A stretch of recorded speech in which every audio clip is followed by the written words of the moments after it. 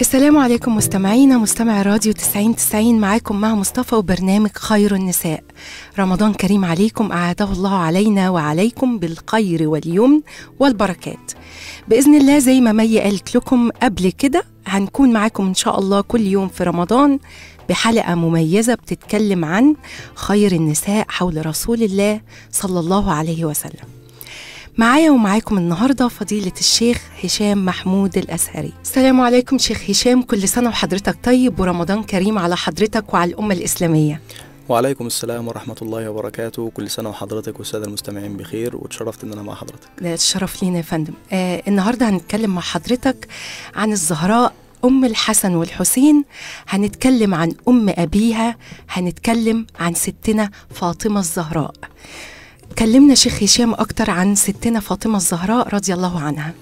بسم الله الرحمن الرحيم. الحمد لله والصلاة والسلام على سيدنا مولانا رسول الله وعلى آله وصحبه ومن والاه واتبع هداه. أما بعد السيدة فاطمة الزهراء رضي الله تعالى عنها هي أم أبيها والابنة الصغرى على القول الأرجح لسيدنا مولانا محمد صلى الله عليه وآله وسلم.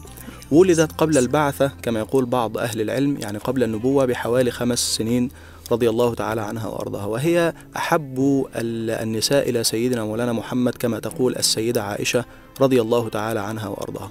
ومن خلال اللي إحنا هنتكلم عنه إن شاء الله أثناء الحلقة هنعرف هي قد إيه كانت قريبة من سيدنا مولانا محمد وإزاي كان سيدنا محمد صلى الله عليه وآله وسلم كمان بيحبها وبيقربها. ويكفي إن منها نسل سيدنا مولانا محمد لحد النهارده. جميع ذرية سيدنا مولانا محمد صلى الله عليه وسلم إنما انحدرت من نسل السيدة فاطمة الزهراء رضي الله تعالى عنها وعليها السلام. ستنا فاطمة الزهراء البتول المباركة الطاهرة أم الأئمة أنت أول أهل بيتي لحوقا بي.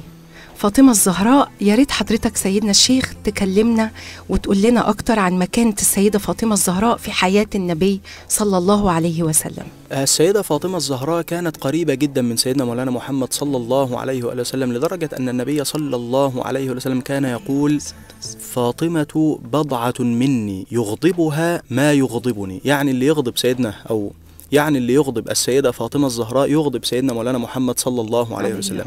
وكما قلنا أن السيدة فاطمة الزهراء كانت تكنى بأم أبيها. أم أبيها العلماء يقولون أنها كنيت بذلك لأنها كانت تعوض سيدنا مولانا محمد صلى الله عليه وآله وسلم عن حنان الأم لأن النبي صلى الله عليه وسلم ماتت أمه وهو صغير, صغير. فكانت السيدة فاطمة الزهراء رغم أنها ابنة سيدنا مولانا محمد صلى الله عليه وسلم إلا أنها كانت كالأم له.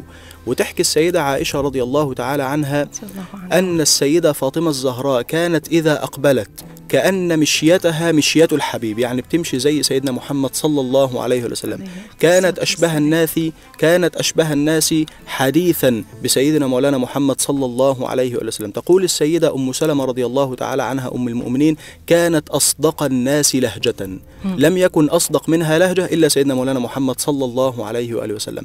وفي مرة من المرات بمناسبة ما ذكرت أنها كانت سر أبيها دخلت على سيدنا مولانا محمد صلى الله عليه وآله وسلم فكان يقوم ويتهلل ويستقبلها ويجلسها مكانه. وفي مرض الموت لما كان سيدنا النبي صلى الله عليه وسلم تعبان ما قدرش يقوم. فلما دخلت السيدة فاطمة الزهراء وشافت سيدنا النبي على السرير مش قادر يقوم يعني بكت واقتربت من سيدنا مولانا محمد صلى الله عليه وسلم فأسر لها حديثا يعني وطى عليها كده وقال لها كلمة في ودنها. فبكت. ثم أسر لها حديثا آخر فضحكت. فالسيدة عائشة شايفة الموقف قدامها واستغربت. قالت ما رأيت ضحكا أقرب من بكاء كما رأيت اليوم. يعني ما شفتش حد بيضحك ويبكي في نفس الوقت زي ما شفت النهاردة. وبعد كده سألت السيدة فاطمة قالت لها هو سيدنا النبي كان بيقول لك إيه؟ فقالت لها ما كنت لأفشي سر رسول الله. أنا مش هطلع حاجة سيدنا النبي قال لي إنها سر فكانت سر أبيها رضي الله تعالى عنها وارضاها هنطلع فاصل سريع ونرجع مع الشيخ هشام محمود الأزهري وستنا فاطمة الزهراء. ورجعنا لكم مستمعينا مستمع راديو 90 90 ومعانا ومعاكم فضيلة الشيخ هشام محمود الأزهري. بنرحب بحضرتك فضيلة الشيخ ولسه بنتكلم عن ستنا فاطمة الزهراء. أه هسأل حضرتك سؤال إيه الصفة اللي حضرتك ممكن تكلمنا عليها أكتر اتصفت بيها السيدة فاطمة الزهراء رضي الله عنها وأرضاها؟ الصفة التي يمكن أن نستنبطها ونستفيد منها من السيدة فاطمة الزهراء هي حنانها على والدها وعلاقتها به. السيدة فاطمة الزهراء زي ما قلنا كانت أم أبيها يعني كانت بتعوض سيدنا النبي صلى الله عليه وآله وسلم عن حنان الأم. كانت ليه زي الأم وزي البنت وزي الأخت فكانت أقرب الناس إليه صلى الله عليه وآله وسلم. وده اللي ينعكس على السيدة فاطمة الزهراء بأن سيدنا النبي صلى الله عليه وسلم يخبرنا أنها كانت سيدة نساء العالمين. فيقول في الحديث النبوي الشريف آه، خير النساء أربع. أول واحدة السيدة مريم بنت عمران تاني واحدة السيدة آسية بنت مزاحم اللي هي امرأة فرعون. تالت واحدة السيدة خديجة بنت خويلد اللي هي أم السيدة فاطمة رضي الله تعالى عنها. ورابع واحدة السيدة فاطمة رضي الله تعالى عنها. وكان يقول في خبر آخر أن السيدة فاطمة الزهراء سيدة نساء أهل الجنة. ويقول أن الذي أخبره بذلك ملك. يعني نزل ملك من السماء وأخبره أن السيدة فاطمة الزهراء كانت سيدة أو سيدة نساء أهل الجنة. فالسيدة فاطمة الزهراء حنيتها على أبوها وحنانها على سيدنا مولانا محمد صلى الله عليه وسلم حتى كنيت بأم أبيها. المعنى ده رائع وقوي جدا عند السيدة فاطمة الزهراء. فلو هنتعلم شيء من السيدة فاطمة الزهراء هنتعلم إن الوالدين وإن الأب والأم هم مفتاح وأبواب هم مفتاح وأبواب للاصطفاء والترقي ونيل المنزلة عند الله سبحانه وتعالى وعند رسوله صلى الله عليه وآله وسلم. آمين يا رب ويلحقنا بيهم يا رب أجمعين على خير آه، في جنات النعيم. وهاخد من كلام حضرتك وأسألك آه، آه، آخر سؤال لينا النهارده. يعني كلام حضرتك أثر فيا جدا آه، ونفسي كل أولادنا وآ- وآبائنا اللي بيسمعونا النهارده ياخدوا من القصة النهارده قد إيه كانت علاق علاقة ستنا فاطمة الزهراء وسيدنا رسول الله قد إيه الحب والود وعلاقة الأب والبنت. آه مفيش أحلى منها. ربنا يا رب يجازيك خير يا شيخنا. وهستأذن حضرتك آخر سؤال لينا النهاردة معاك. ممكن حضرتك تقول لي إيه ممكن نقوله النهاردة؟ رسالة من حضرتك لكل, لكل سيدات اللي بيسمعونا لكل آه، آه، أمهاتنا وأخواتنا وحبايبنا اللي بيسمعونا. إيه الحاجة اللي ممكن حضرتك تنصحنا بيها ونتعلمها من قصة ستنا فاطمة الزهراء النهاردة. ممكن نبعت ثلاث رسائل لسادتنا المستمعين. أول رسالة زي ما قلنا إن الأم والأب بابان من أبواب الجنة. يعني باب مفتوح ليك واسع جدا تقدر توصل لربنا سبحانه وتعالى من خلاله. وتعلمنا الكلام ده من حنان السيدة فاطمة الزهراء مع سيدنا مولانا محمد صلى الله عليه وآله وسلم. تاني رسالة التعلق بالجناب الشريف بسيدنا مولانا محمد صلى الله عليه وآله وسلم.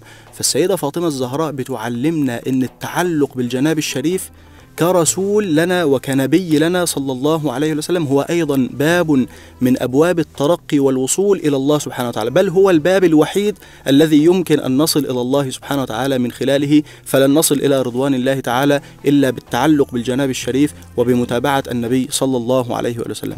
الرسالة الثالثة هو الحياء السيدة فاطمة الزهراء من المواقف اللطيفة جدا اللي بتحكى عنها أنها قالت للسيدة أسماء يا أسماء إني قد استقبحت ما يصنع بالنساء. يعني بتتكلم عن السيدات لما بتموت كانوا بيحملوا على آه، شيء وبس بيغطوا بشيء كده زي الملاية اللطيفة. فبتقول أن هذا الوصف يعني يجعل آه، جسد ال- المرأة موصوف كأنه ظاهر بس إنك تحط عليها ملاية أو حاجة فده ظاهر. قالت لها أنا أنا عندي حياء ما ينفعش أطلع بالمشهد ده. فالسيدة أسماء قالت لها أنا هنقل ليكي خبرة أنا شفتها في الحبشة. وشرحت ليها النعش. إزاي إن هم بيعملوا نعش وتوضع فيه المرأة ويغطى وكذا. تقول فتبسمت فاطمة. ولم تكن تبسمت قبل ذلك. يعني إيه ما كانتش بتبتسم من بعد وفاة سيدنا النبي صلى الله عليه وسلم. ما رؤيت ضاحكة بعد وفاة النبي صلى الله عليه وسلم حتى لحقت بالله عز وجل إلا في هذا الموقف. وقالت لها سترك الله كما سترتني. فالسيدة فاطمة الزهراء معنى الحياء والأدب يتجلى عندها لدرجة إن هي حتى في الموت مش عايزة تحمل وعليها ملاية بس تظهر شيء من جسدها. فالرسالة الثالثة اللي ممكن نستفيدها ونتعلمها من السيدة فاطمة الزهراء هو أن الحياء معنى راقي جدا وأنه شعبة عظيمة من شعب الإيمان.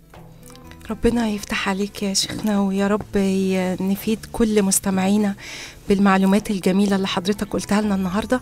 هستأذن حضرتك نختم حلقتنا بالدعاء لكل مستمعينا ولينا ولكل الأمة الإسلامية. يا رب في أول أيام رمضان يجعله يا رب رمضان كريم علينا جميعا. اتفضل شيخنا. اللهم صل وسلم على سيدنا مولانا محمد وعلى آله وصحبه في الأولين وفي الآخرين وفي الملأ الأعلى إلى يوم الدين.